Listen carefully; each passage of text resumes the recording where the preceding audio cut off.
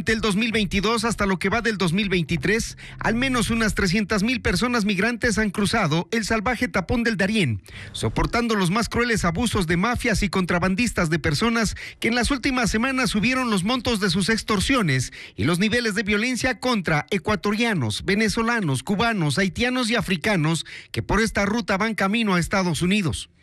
Hoy, el subsecretario adjunto de Comunicaciones del Departamento de Seguridad Nacional de los Estados Unidos, Luis Miranda, reveló que existe un plan para bloquear esta ruta selvática, que es la más utilizada por migrantes de todo el mundo. Eh, se está haciendo un trabajo eh, afirmativo para limitar el acceso eh, a esas vías eh, precisamente por los peligros que presentan. Sin entregar detalles ni tiempo de las acciones que se ejecutarán en esta zona, Estados Unidos pide una vez más a los ecuatorianos no arriesgarse a la ilegalidad, toda vez que rige desde el pasado 12 de mayo las nuevas medidas de migración. Se expone a ser vetada para entrar a los Estados Unidos legalmente durante cinco años, eh, posiblemente más, dependiendo de su historial.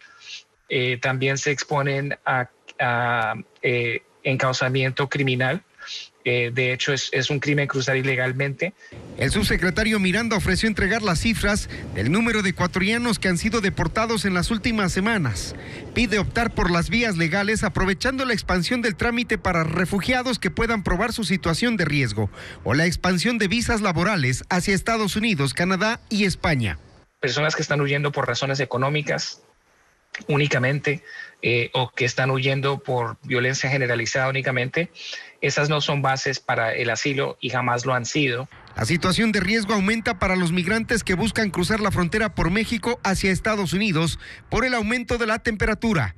En la desértica zona limítrofe varios cadáveres han sido recogidos por la patrulla de frontera e ingresados al programa de migrantes perdidos, donde se toma huellas dactilares para tratar de identificar quiénes eran y de qué nacionalidad, para proceder a informar a las familias en los países de origen y deportar los restos.